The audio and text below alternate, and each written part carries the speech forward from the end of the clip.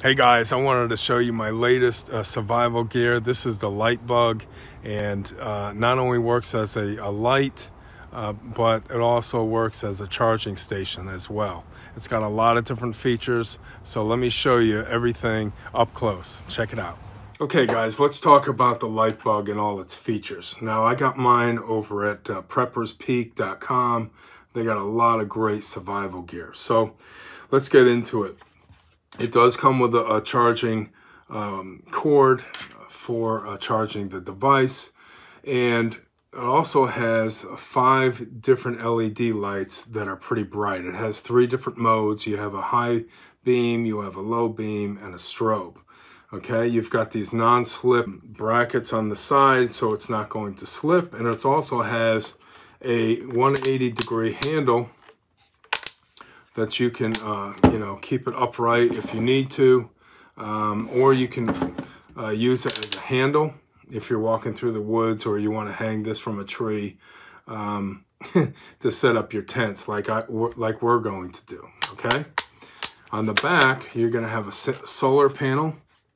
The solar panel uh, can detach uh, from the device and you're going to plug it into uh, the micro USB port. Okay, you have an input, which is the micro USB port, and you have an output. Okay, this is going to, you know, if you have your um, charging cord for your phone or your other devices, you could just plug it in um, your output. Okay, and then uh, you can also charge this with with this cord, the micro USB cord, into your input you just plug it in there and then plug it into the wall, okay?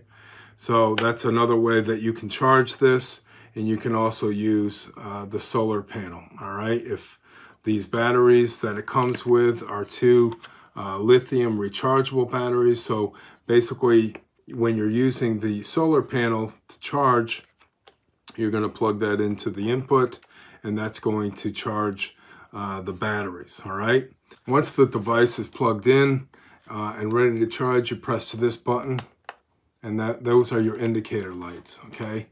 It's gonna indicate that it's charging and it's gonna indicate your strength uh, for the batteries. These batteries come fully charged and that's a real bonus. Here's your power button for your uh, for your lights. Like I said, you got the high beam, you got your low beam, and then you got your strobe, okay, if you get in trouble again, if you uh, happen, if these go bad, these lithium batteries, you can also use this device with four uh, AA batteries as well, all right? But you do not want to have these, the AA batteries in here if you're charging the device because you can uh, blow it up uh, or you can really mess it up, all right? So Anyway, that's all the different features that it has. It really comes in handy, uh, especially if you're pulling in late at night on a campsite and you got to, you know, set up your tent and you, you don't want to use your uh, your headlights uh, for your car. So like I said, I got mine over at uh,